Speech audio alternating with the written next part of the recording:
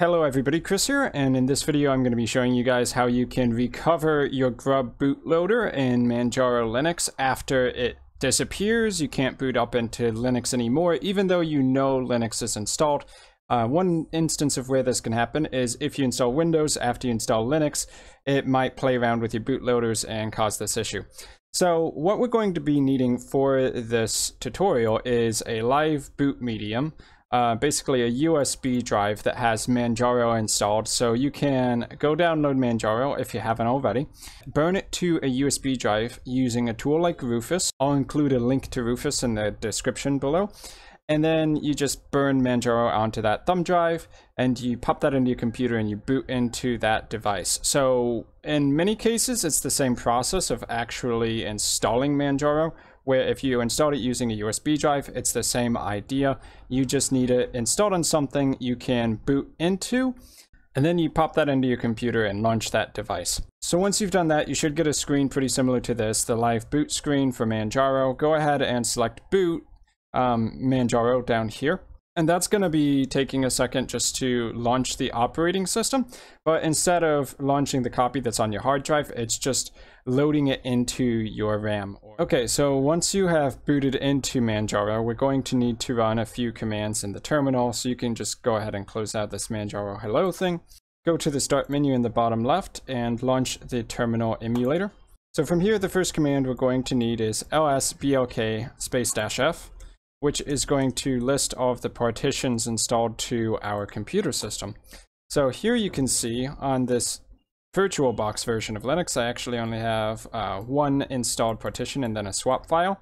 So usually Manjaro is going to be installed on a ext4 type partition. And generally the partitions are going to be numbered kind of in the order they were installed. So if you installed Linux first, and then you installed Windows later on. Windows is going to be SDA 345, and then Manjaro is probably going to be SDA 1. So hopefully just by looking at this, you'll be able to figure out which one is actually where you installed Manjaro or another Linux onto.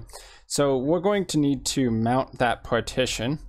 So we're going to need to mount that partition doing sudo mount slash dev slash SDA and then the number of the partition. So in this case, that would be SDA1 because that's where Manjaro was installed. And then space, and we put that onto slash mount directory. And that will allow us to work on the Manjaro installation without actually being booted into it. But in order to not run into any issues, we're going to want to do a chroot um, before we actually enter that directory and start doing grub commands.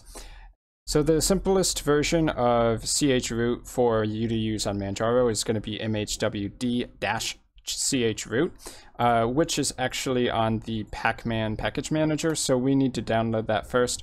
And even though we're on a live CD, we can still run commands like sudo pacman sy to synchronize the database. This will only take a couple megabytes of data, so it takes seconds. Um, in order to do that, though, you will have to actually connect um, into the Wi-Fi in the bottom right hand corner if you haven't done so already. And next we're going to do sudo pacman-s mhwd-chroot to install it, which is a really tiny file, but a useful tool for us to have. And once, once it's installed, we can go ahead and do sudo mhwd which is going to launch a new shell where we can run these grub install and update grub commands without running into any issues. So next we want to change into the mount directory. So cd slash mount. And then we want to install grub here. So in my case, I'm installing onto a BIOS-based system. There's also UEFI-based systems where the command is a little bit different. But at least for a system that's running on BIOS booting, uh, you're going to be doing grub install space slash dev slash SDA, not a number, but SDA. It's referring to the hard drive, not the partition. And then double dash boot directory um, equals slash mount slash boot, which is generally where the boot files of your Linux installation are going to be put into. So because um, SDA1 or Manjaro Linux is mounted onto slash mount, uh, slash boot directory is going to be located in that. So that's why it's slash mount slash boot and not slash dev slash SDA1 slash boot. Um, so we go ahead and run that. Okay, so it's actually important you spell it right, so I missed the S there, so make sure grub install.